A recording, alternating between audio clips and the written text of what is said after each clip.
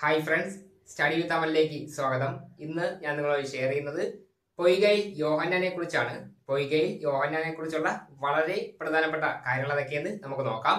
പൊയ്കയിൽ യോഹന്നാൻ ജനിച്ചത് ആയിരത്തി എണ്ണൂറ്റി എഴുപത്തി ഒമ്പതിലാണ് വർഷം മറന്നു പോകരുത്. ആയിരത്തി എണ്ണൂറ്റി എഴുപത്തി ഒമ്പതിലാണ് പൊയ്കയിൽ യോഹന്നാൻ ജനിച്ചത്.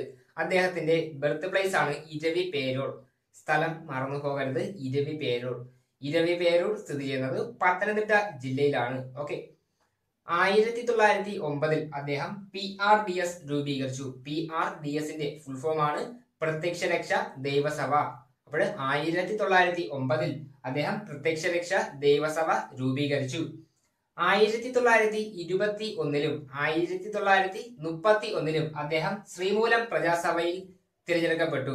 വർഷം മറന്നു പോകരുത് ആയിരത്തി തൊള്ളായിരത്തി ഇരുപത്തി ഒന്നിലും ആയിരത്തി തൊള്ളായിരത്തി മുപ്പത്തി ഒന്നിലും പൊയ്കൈ യോഹന്നാൻ ശ്രീമൂലം പ്രജാസഭയിലേക്ക് തിരഞ്ഞെടുക്കപ്പെട്ടു. ക്രിസ്തുമതത്തിലെ വിവേചനങ്ങൾക്കെതിരെ പൊയ്കൽ യോഹന്നാൻ ബൈബിൾ കത്തിച്ച് പ്രതിഷേധിച്ചത് വാഗത്താനം ലഹളയിലാണ്. ഞാനിതൊന്നുകൂടെ പറഞ്ഞുതരാം. ക്രിസ്തുമതത്തിലെ വിവേചനങ്ങൾക്കെതിരെ പൊയ്കൽ യോഹന്നാൻ ബൈബിൾ കത്തിച്ച് പ്രതിഷേധിച്ചത് വാഗത്താനം ലഹളയിലാണ്. അടിലഹള നയിച്ചത് പൊയ്കേൽ യോഹനനാണ് പൊയ്കേൽ യോഹനൻ എന്ന പുസ്തകം എഴുതിയത് എം ആർ രേണുകുമാർ ആണ് ഓക്കെ അവിടെ പൊയ്യേൽ യോഹനാൻ എന്ന പുസ്തകം എഴുതിയത് എം ആർ രേണുകുമാർ ആണ് സർക്കാർ അനുമതിയോടെ തിരുവിതാംകൂറിൽ ഇംഗ്ലീഷ് മീഡിയം സ്കൂൾ സ്ഥാപിച്ചത് പൊയ്കേൽ യോഹന്നനാണ്. ഞാനത് ഒന്നുകൂടെ പറഞ്ഞുതരാം. സർക്കാർ അനുമതിയോടെ തിരുവിതാംകൂറിൽ ഇംഗ്ലീഷ് മീഡിയം സ്കൂൾ സ്ഥാപിച്ചത് പൊയ്കേൽ യോഹന്നാനാണ്.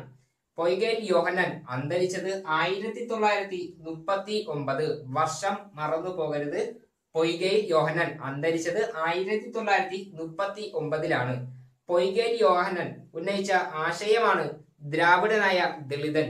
തെറ്റിക്കരുത്. ദ്രാവിഡനായ ദളിതൻ. പൊയ്കേൽ യോഹന്നാനെ കുറിച്ചുള്ള ഈ ഒരു വീഡിയോ ഇഷ്ടപ്പെട്ടാൽ ലൈക്ക് ഷെയർ സബ്സ്ക്രൈബ്